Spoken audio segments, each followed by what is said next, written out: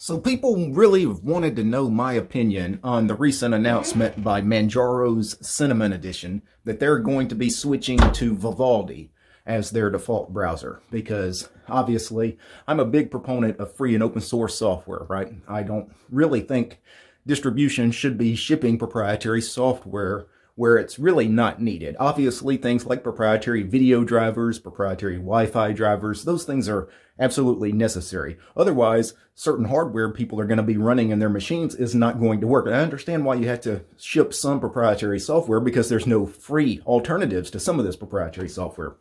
But when it comes to things like a web browser or an office suite, um, there's really no reason not to use things like Firefox and LibreOffice.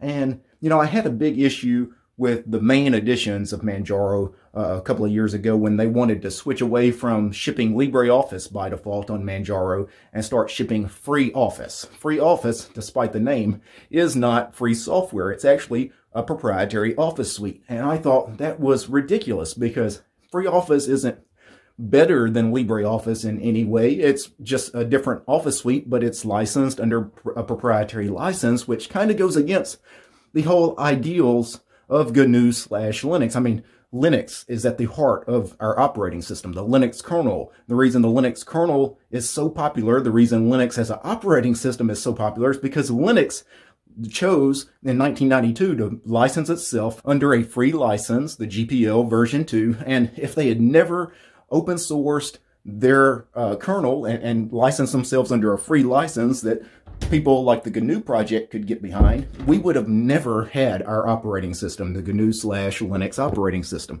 And uh, people should know that. People, especially that create Linux distributions, should know that history and they should learn from it. So you don't want to be pushing proprietary software on your users because uh, maybe not a majority of Linux users, but certainly uh, not an insignificant percentage of the Linux community does not like to promote proprietary software. They don't like to use proprietary software unless it's absolutely necessary. I'm certainly one of those people. And because of that, you know, I don't really like what the Manjaro team did with Free Office. I don't like what the Manjaro Cinnamon edition is doing, pushing Vivaldi, which is a proprietary web browser.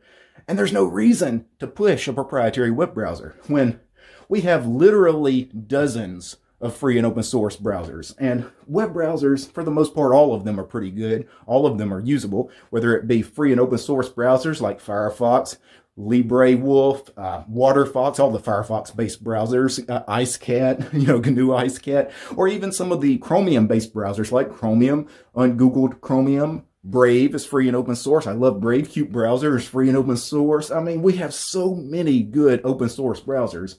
We don't need to push proprietary garbage like Vivaldi or Chrome or Microsoft Edge. I'm sure they're all great browsers, but they really don't belong on our operating system, a free operating system that is GNU slash Linux. Now, the maintainer of the Manjaro Cinnamon Edition, it's a community edition. That's not one of Manjaro's official flavors. And the maintainer of any Linux distribution, obviously, can choose to ship whatever he wants on his or her Linux distribution. So, I mean, it's, it's this person's choice. The only thing I would say is that the people that make these choices need to understand the consequences of these choices because they are going to anger people. They know this.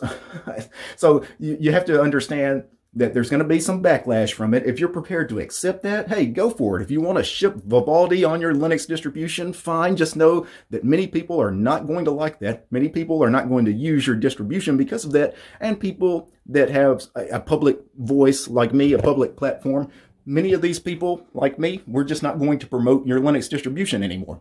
Anyway, that's just some of my thoughts on this. Peace, guys.